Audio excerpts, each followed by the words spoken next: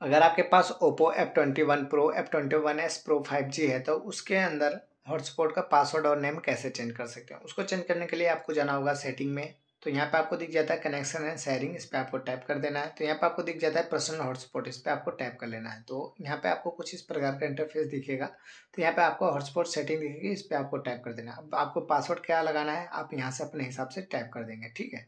जैसे कि मैंने डाल दिया टी एन फ़ोन बाकी आप अपना नाम भी पासवर्ड डाल सकते हैं। बाकी यहाँ पे आपको अपना जो भी नाम लिखना होगा हॉटस्पॉट का लिख देंगे। यहाँ पे मैं लिख देता हूँ, यहाँ पे भी टी एन फ़ोन ठीक है? दोनों जगह T N phone T N phone लिख दिया और यहाँ पे चेक मार्क कर दिया।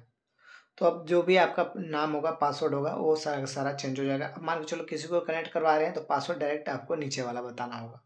और आपका वैसे भी फ़ोन में वो टी एन फ़ोन के नाम से शो कर जाएगा दूसरे के फ़ोन में, जब भी वो वाईफाई कनेक्ट करने आएगा तो। अगर वीडियो अच्छी लगेगी तो लाइक शेयर सब्सक्राइब कर लीजिएगा। मिलते हैं नेक्स्ट वीडियो में, तब तक के लिए बाय बाय